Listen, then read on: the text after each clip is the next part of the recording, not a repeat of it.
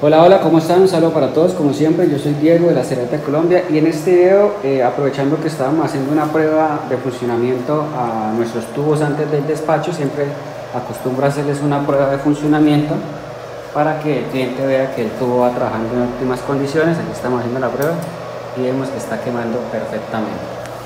¿Listo? Pero esta no es la razón del video, el video es porque quiero explicarles algo muy importante, vamos a desconectar aquí la fuente que no la necesitamos y les voy a explicar algo muy importante porque muchas personas me han estado comentando que por qué el tubo se me desocupa cada vez que apago la máquina ¿listo? ¿qué debo hacer para que esto no me pase? ¿vale? aquí tenemos un tubo de 50 watts esto lo pueden hacer con cualquier tubo 60, 80, 100, 150 es importante que primero verificar que todo el tubo esté lleno de agua que no hayan burbujas estas burbujitas pequeñitas mínimas no afectan absolutamente nada, no hay problema. Lo importante es que no nos queden burbujas grandes. ¿Y qué es lo que pasa? Cuando el tubo se desocupa y eh, se prende la máquina y se vuelve a rellenar, normalmente cuando no está bien ubicado la salida del agua acá, en la parte superior del tubo, se queda eh, emposado el aire y esto puede ocasionar que el tubo se nos degenere o se nos dañe con facilidad, se nos queme. ¿Listo? ¿Por qué pasa esto? ¿Por qué les está pasando esto? Entonces, ojo con esto. Es muy importante las mangueras, ¿sí? Aquí está la manguera de salida. Listo, les voy a explicar algo muy importante. Voy a empujar un poquito el tubo para allá. ¿Para qué? Para que la manguera, si pueden ver acá bien, para que la manguera me quede por fuera. Mira, ahí está un poquito sucio el agua, no pasa nada hacer una prueba. ¿Listo? Entonces, si yo apago la bombita, si la desconecto, se van a dar cuenta que la manguera por quedar por fuera empieza a chupar aire y por ende se desocupa el tubo. ¿Listo? Si yo enciendo de nuevo la, la bombita, vamos a conectarla. Ella empieza a funcionar y empieza a tratar de sacar todo el aire. Si ven las burbujas grandes que van saliendo?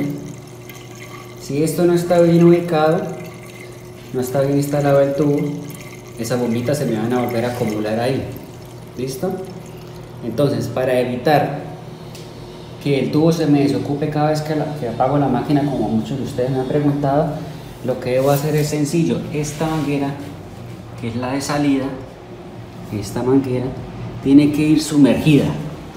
¿Listo? Si la sumerjo, la presión del agua, cuando apague la bombita, en este caso la voy a desconectar. Mira, démosle chance. Esperemos un rato. Y como pueden ver, el agua no se desocupa, no se sale del tubo.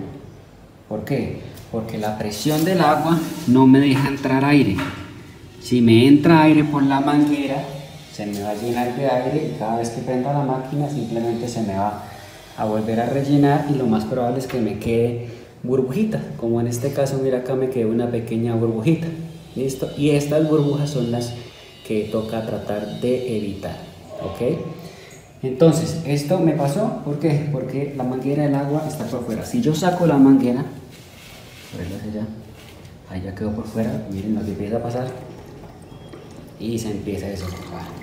Entonces, consejo muy útil, cuando ustedes estén trabajando en la máquina, que las dos mangueras estén totalmente sumergidas. ¿sí? Normalmente al principio uno batalla sacando la burbujita para que luego cuando apaguemos la máquina y la encendamos, pues otra vez se nos llene de aire y es lo que tratamos de evitar con esto. Sumergimos la manguera y así nos ayuda la presión del agua a que el aire no nos ingrese al tubo y no se nos desocupe cada vez que prendamos y apaguemos la máquina. ¿Listo? Entonces con eso, los que estaban preguntando, es por esto que les pasa. Cuando dejan la manguera en el aire, muchas veces algunas personas procuran dejarla en el aire precisamente para ver que el agua esté circulando constantemente. ¿sí?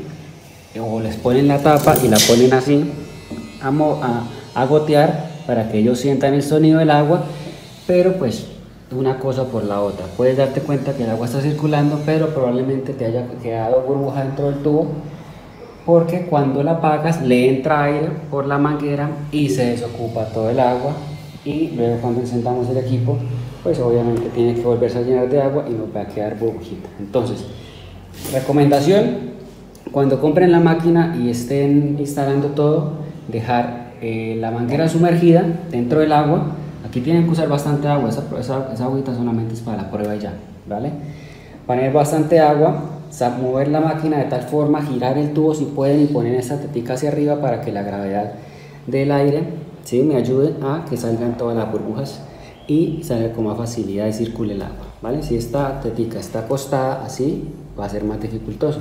Traten de que siempre me quede un poco hacia arriba o horizontal, un poquito ladeado o bien vertical, ¿vale? para que no tengan ese problema. ¿Listo?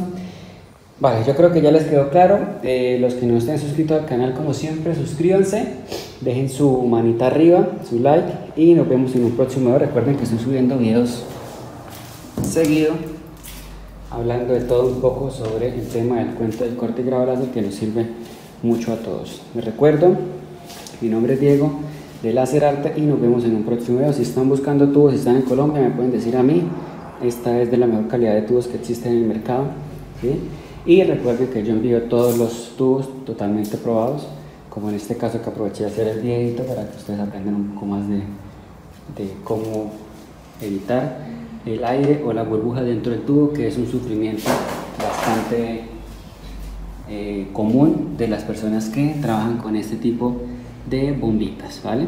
También puede pasar con chile, pero normalmente pasa con, con bombita porque la bombita no tiene mucha presión para sacar y empujar el agua y más cuando el tubo es largo. Probablemente con esos tubos pequeños no haya problema, eh, pero con tubos grandes de pronto sí. Entonces les aconsejo eh, hacer este paso para que se eviten dolores de cabeza, que el tubo se les va a dañar porque le dejan burbujas de aire. Siempre estar pendiente. Y para saber si el agua está circulando, pues simplemente cuando la sacan, revisan que esté circulando y la vuelven a dejar sumergida para que no me entre aire cuando eh, apague la máquina.